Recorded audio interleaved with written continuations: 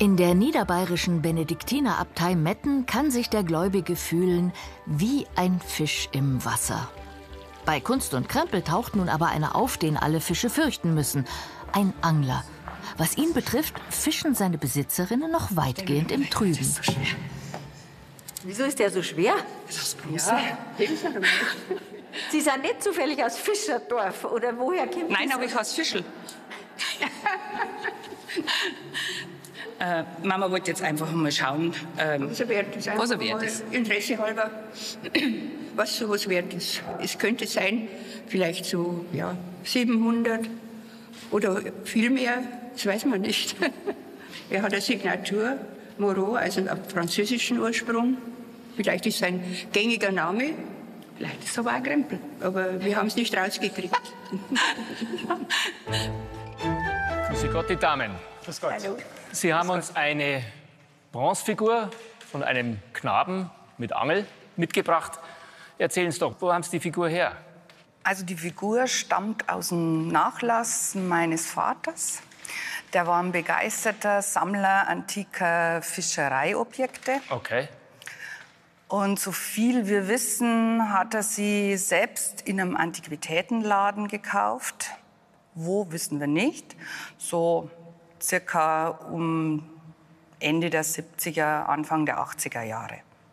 Und wo, wo, wo kommen Sie her oder wo kommt Ihr Vater her? Also mein, mein Vater war ähm, aus Plattling, also gebürtig nicht, aber viele Jahre hat er dort gewohnt, hatte dort äh, im Keller seines Hauses äh, diese Fischereisammlung sehr Aha, okay.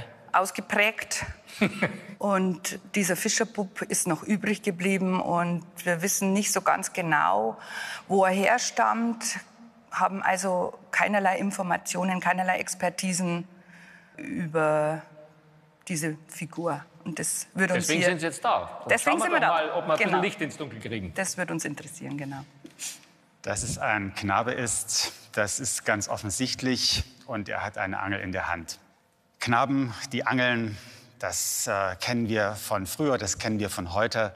Das ist ein Hobby, das führt zu Gelassenheit und genauso gelassen ist dieser Knabe dargestellt. Er scheint an einem Gewässer zu stehen, hat einen großen Hut auf dem Kopf, der ihn schützt vor der Sonne und ist ganz bei der Sache. Das Gesicht nach unten gesenkt und da sieht man, er hat in der Hand schon seine Trophäe. Er hat einen Fisch aus dem Wasser gezogen und ist dabei, den Haken aus dem Maul des Fisches zu operieren. Und wenn wir von da noch weiter nach unten schauen, dann sehen wir an der Hose am Gürtel einen Krug. In diesem Krug hat er den Köder oder die Köder und kann damit gleich die Angel für den nächsten Fang fertig machen. Er steht ponderiert, das heißt mit Stand und Spielbein, sehr, sehr gelassen, sehr schön auch. Er steht auf einem Sockel, man sieht das, der Gestein oder ein, ein Wiesenplateau andeuten soll, also am Rande eines Gewässers und zeigt sich in Versonnenheit, in Gelassenheit. Angeln macht gelassen, aber wenn man die Figur anschaut, dann ist es auch schon ein Sinnbild der Gelassenheit an sich. Ich habe ihn vorhin schon mal gedreht, den Knaben, und wenn ich das noch mal tue, dann sieht man, dass er auch eine Signatur trägt, nämlich hier an diesem Felsblock, auf dem das Spielbein steht. A. Moreau.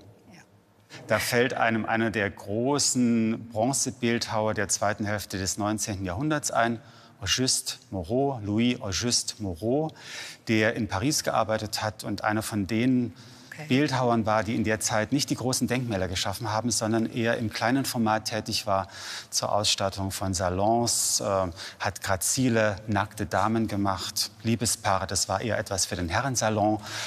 Der angelnde Knabe, das konnte dann auch die Frau vielleicht in ihrem Salon aufstellen und hat damit die Besucher beeindrucken können. Okay. Macht es etwas stutzig, dass diese Signatur in Lettern, in Druckbuchstaben geschrieben ist, denn Auguste Moreau hat normalerweise eine sehr schwungvolle Handschrift.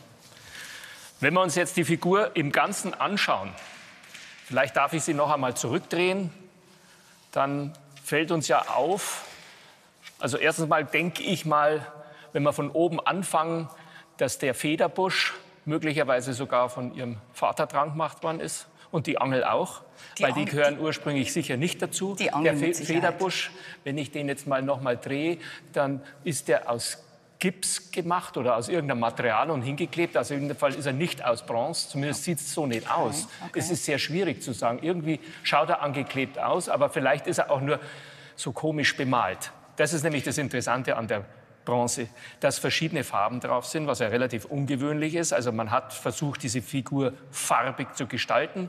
Wir haben also einen Federbusch, der weiß ist. Wir haben einen Haare, die schwarz sind. Wir haben ein, ein, ein kurzes Hemd, das ist dunkel. Eine grüne Hose, wenn wir weiter runtergehen. Das sind alles so Dinge, die findet man eigentlich so früh seltener.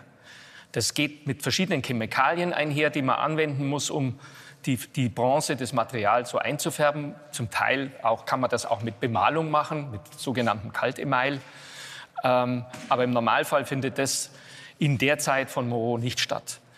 Wenn ich mir jetzt die Qualität der Ziselierung, wenn man mal auf die Füße, wir haben jetzt die, sehen hier die Zehen recht gut, wir können das dann auch an den Händen vielleicht mal festhalten, dass diese Dinge sehr, ja, sage ich mal, rudimentär gemacht worden sind. Also würde ich mir denken, dass wir hier einen Imitator von Auguste Moreau haben, der versucht hat, in der Nachkriegszeit ein dekoratives, sehr, äh, schönes Objekt zu machen, was als Dekoration äh, durchaus sehr attraktiv war. Und als solches müssen wir das verstehen. Sie sagen, Ihr Vater hat es in den 70er Jahren erworben.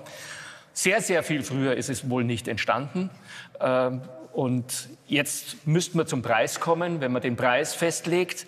Moreau verkauft sich heute ja auch im Bereich zwischen 300 und 1000 Euro entsprechend. Und diese Figur würde ich dann in dem entsprechend zwischen 150 und 200 Euro ansetzen als dekoratives Objekt. Leider können wir da nicht mehr rausholen. Hübsch ist sie. Ich glaube, es gibt bestimmt jemand, der, wenn Sie es nicht mehr wollen, wird sich auch jemand finden, bin Denk ich ganz ich sicher. Denk es ist schön, dass Sie es uns gebracht haben. Auf Herzlichen Wiederschauen, Dank. gute Heimfahrt. Herzlichen Danke, Dank. Wiedersehen. Herzlichen Dank. Ich habe schon ein bisschen mehr erwartet, weiß nicht, ja. Aber gut, mein Gott. Ist halt nicht so. Es muss Jetzt auch wissen einer einen Krempel haben. Jetzt wissen wir Bescheid.